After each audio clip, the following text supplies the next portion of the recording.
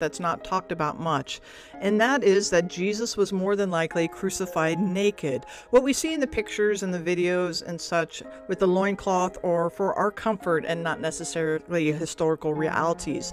It's pretty well established that Romans crucified people naked to bring the greatest possible shame.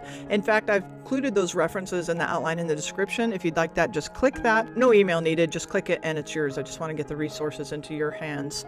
So, this wasn't new and was practiced throughout history. The focus of the groin to cause pain among a torturing process was practiced by the Syrians and practiced by other civilizations, practiced by the Romans. And yeah, it was just part of the culture. And sorry, guys, if you are watching this, sorry. The question then becomes about what about the women at the cross? Would they have been at the cross if Jesus was naked? Well, most of the women were watching from a distance. What detail that most leave out is that Mary and the others were among those watching from a distance. We see this in Matthew and we see this in Mark. The only difference is, and the only challenge is, we come to John and he said, Near the cross of Jesus stood his mother, his mother's sister Mary, and the wife Clopas and Mary Magdalene, these women that the other Gospels say were among the women standing at a distance, but John says they were near. And when Jesus saw his mother there and the disciple whom he loved standing nearby, he said to her, Woman, here's your son. Well, we have to understand that near is a relative term, but we know that of the women, Mary was close enough that Jesus spoke to her and his disciple John. Now, this isn't too big of a surprise because being his mother and raising him, and John, a man and a disciple, it may have been more appropriate that they were near enough to talk with Jesus. We don't see other women talking to Jesus, which may mean they were among the other women, which was a distance away, but still near compared to the rest of the townspeople. Now, some have said since Jesus was Jewish, the Romans would have wanted to treat Jesus differently and have covered him to respect the Jews. Well, I'm not sure of that because the Romans who crucified Jesus hated the Jews. In fact, Josephus in the 70s spoke of mass crucifixions that were motivated out of the wrath and hatred they bore the Jews. This was not a new thing in AD 70. This had been going on for centuries. There was definite hatred between the Jews Jews, Romans, but more than that, the Jewish leaders hated Jesus as well. They rejected him as not one of their own. So I would have to say First of all, there was little reason to give Jesus special privileges considering he was hated by both Romans and Jews. Secondly, crucifying naked was standard shaming practice for the Romans. In fact, Michelangelo even made a statue of this of the naked Jesus. And third, the point of the cross was maximum suffering and humiliation. They weren't trying to go easy, they were trying to intensify and maximize humiliation as much as possible. And four, even Jews at times punished criminals naked, so it wouldn't have been out of the ordinary. You can see that reference in the outline. And number five, mockery and blows in the groin were common focal points in making criminals suffer, and that has happened throughout history. Here's the significance Jesus knew sexual abuse, he knew what it was to be mocked, violated, humiliated, and abused. Jesus understands. In 1968, the foot of a crucified man named Yohanan was discovered, and it changed our understanding of crucifixion in two surprising ways. Then a later discovery in 2014 of a second heel bone discovery added to that. The first surprise was the location of the nail. Prior to this discovery, it was uncertain where the nail was placed in the foot when someone was nailed to the cross. Was it through the front, as it appears in most art and images of today? What was found with the 1968 discovery was that the nail went through the heel from the side. This meant that the crucified victim had to have had his knees turned completely to the side, or that his legs were spread open and the heels fixed, or that his feet straddled the cross, his or her feet were nailed on each side. The challenge comes in that the nail that was used was max around 19 centimeters and 7.5 inches long. It would have been difficult to have doubled the heel bones together, driven the stake through both heels, and yet still be deep enough in the wood that it held the body. Yet it could have been possible if they smashed the heels very hard.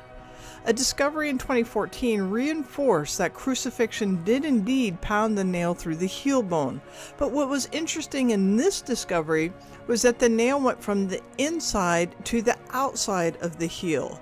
This left only two possibilities. The victim's knees were turned to the right and the heels were nailed to the beam, or that the victim had to spread his legs wide, fully exposing his genitalia, and the spike put through each foot on one or both feet. Either way, the victim's positioning would have significantly added to their misery and especially the difficulty of breathing. The second surprise, and even more astonishing, was that bits of olive wood in the 1968 discovery were found on the end of the nail. This means that Yehohanan was likely crucified on an olive tree, or the cross was made out of cut olive wood. This would make sense as olive trees were a common form of wood at the time. What makes this surprising is that the olive trees do not grow exceedingly tall, nor are they very straight. This would mean that there's a likelihood that the crucified victim was not high up on a pole, but rather at or just above eye level. It would be the torture on the ground being so close but so far.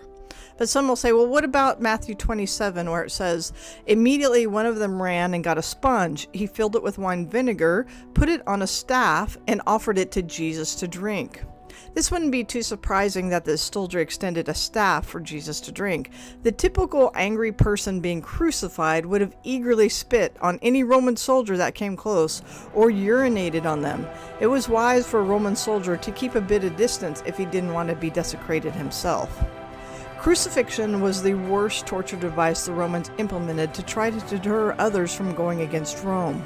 At any moment, Jesus could have called upon the angels to deliver him, but he stayed.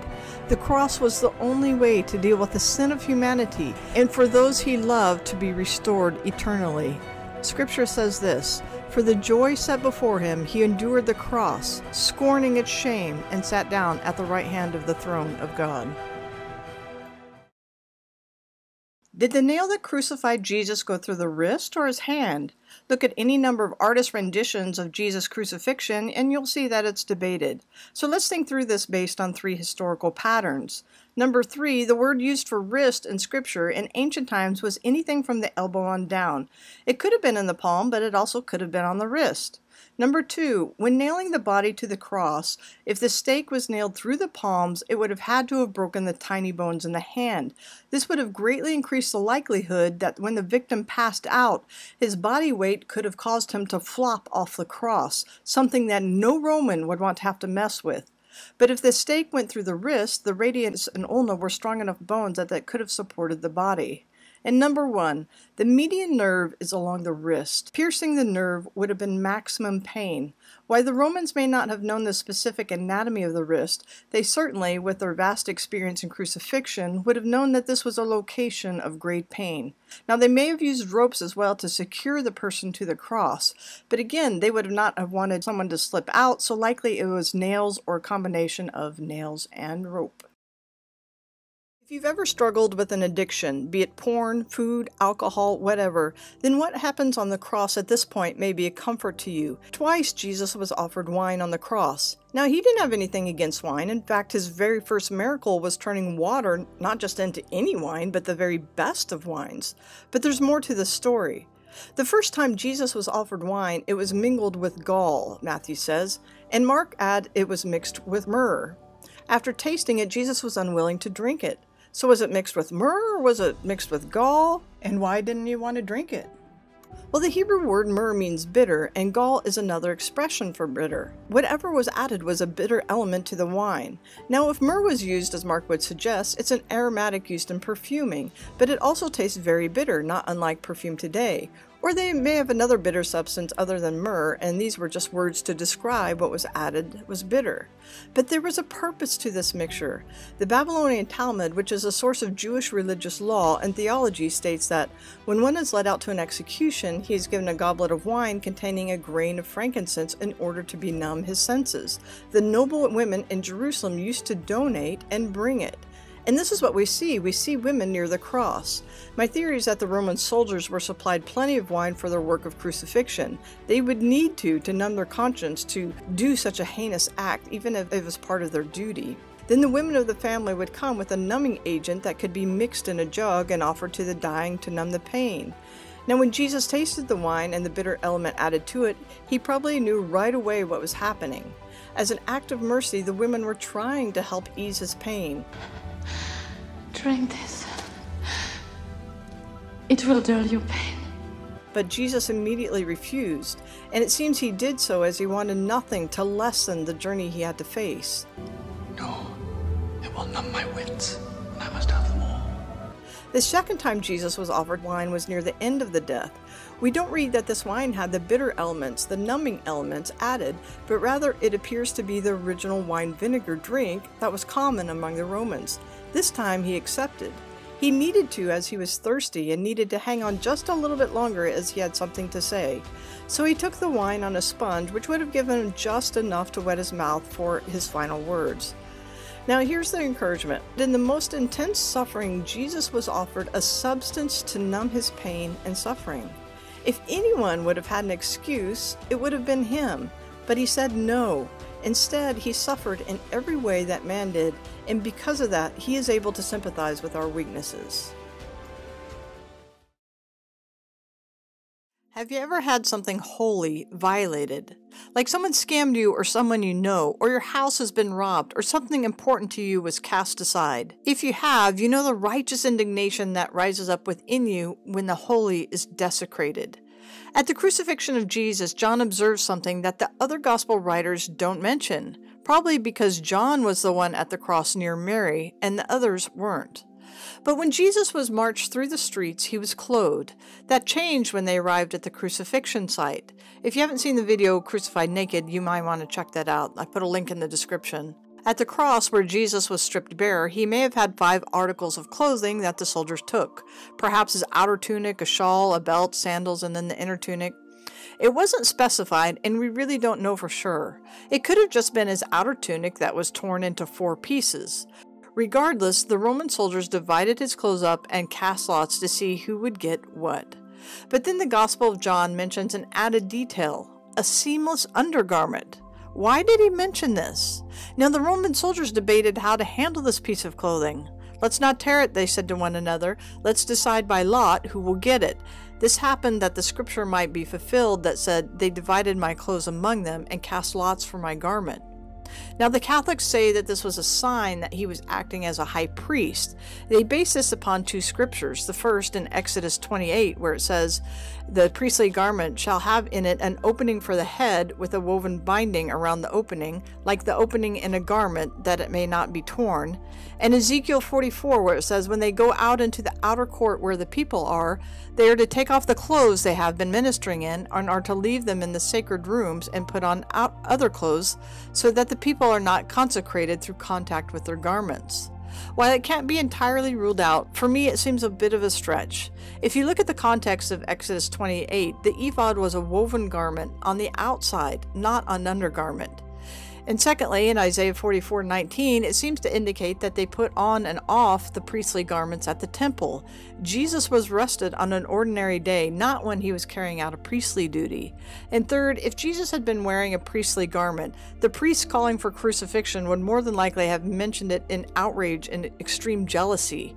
Instead, at Jesus' trial, they were working hard to come up with an accusation that would stick, not that he was posing as a high priest. Most importantly, John tells us that this is the fulfillment of Psalm 22:18, and that, that they would divide up his garments.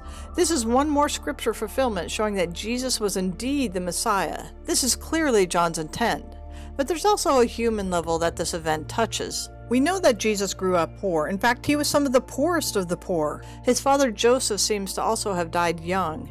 And Jesus, in his itinerant ministry, was living on such little support it took a miracle literally to pay his taxes. So, this garment that was woven in one piece was special. It was either done by the loving hands of his mother or as an expensive gift given to him. Either way, it was out of the ordinary, significant, more than likely a gift. My personal guess is that it was probably made by his mother, because the very next verse, after John quotes this verse about the soldiers gambling for his clothes, he mentions Jesus' mother who was near the cross. And we know from another text that John was with her as well.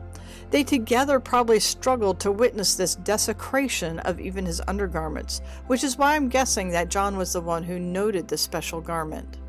It wasn't enough that they literally stripped Jesus of any earthly dignity, but they also had to violate what was special to him, personally important, a gift. Why, first and foremost, this event is about the fulfillment of Scripture showing Jesus to be Messiah. It's also relevant in appreciating Jesus' suffering with ours. Jesus understands what it is for something important to us to be violated in our darkest hour. Pilate did not want to crucify Jesus as he found him innocent. That and his wife was telling him to have nothing to do with the case as she suffered much in a dream about this man. Caught between his wife, his enemies, and his employer, it was a terrible place for this man to be.